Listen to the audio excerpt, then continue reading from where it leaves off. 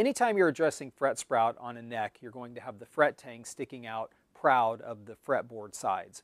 So with your B file and your E file, you're going to be equipped to take care of that fret sprout, bevel your fret ends in, and then re-round the bevel and polish them out so that you have a nice smooth playing surface and uh, great feel up and down the fretboard with no grabby edges or catching corners.